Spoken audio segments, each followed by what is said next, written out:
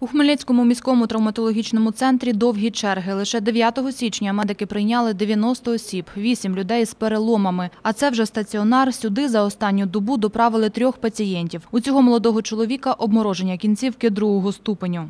Зі слів травму отримав в 3 часи ночі, впав і не відчував. А на ранок вже звернувся вже під ранок в часов 9 е, з обмороженням другого ступеню кисті, який був, пацієнт був госпіталізований в травмвідділення.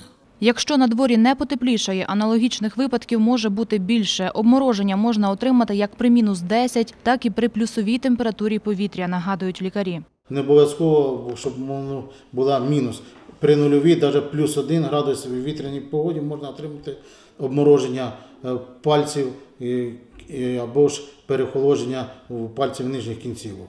Щоб уникнути обмороження, слід одягати рукавиці і тепле взуття, не носити важких предметів, щоб не перетискали руку, і зняти металеві прикраси. Якщо відчуваєте, що дуже змерзли, зайдіть у найближчий пункт обігріву. В області їх розгорнули на вокзалах, у лікарнях та соціальних закладах. На Хмельницькому міському пляжі облаштували великий мобільний пункт обігріву. Тут не лише запропонують гарячого чаю, а й за потреби до приїзду швидкої нададуть першу медичну допомогу. обмороження, е, замерз, ми можемо надати долікарську допомогу, викликати швидку і підтримувати людину до приїзду швидкої допомоги. Це, ну, це наше основне завдання. У нас є засоби, є спеціальні сумки, які приготовлені для цього, щоб там є повністю весь комплект спорядження, перев'язочний матеріал, є зігріваючі е, засоби, і тобто це все є в наявності.